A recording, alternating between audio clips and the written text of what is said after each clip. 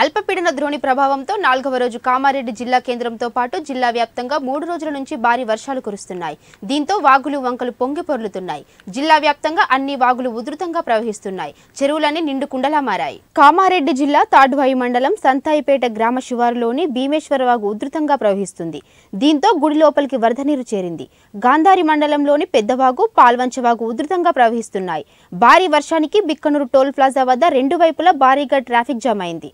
దీంతో సుమారు గంట సేపు ట్రాఫిక్ స్తంభించింది.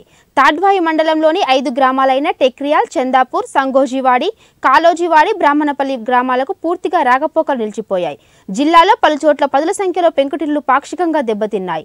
వర్షం బీభత్సంతో లోతట్టు ప్రాంతాల్లో పంట చేనులలో వర్షపు నీరు చేరింది. రైతులు ఆందోళన చెందుతున్నారు. జిల్లా కేంద్రంలోని లోతట్టు ప్రాంతాలైన బతుకమ్మకుంట రుక్మిణికుంట పంచాముఖి అయ్యప్పనగర్ శ్రీరామ్నగర్ కాలనీలో ఇండ్లలోకి వరద నీరు చేరడంతో ప్రజలు ఇబ్బందులు ఎదుర్కొంటున్నారు.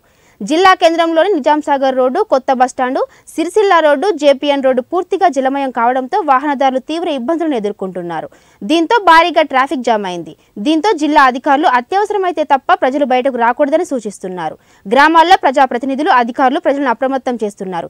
ఏదైనా అత్యవసరమైతే తప్ప జిల్లా కేంద్రంలోని టోల్ ఫ్రీ నెంబర్లకు సంప్రదించాలని అధికారులు సూచిస్తున్నారు.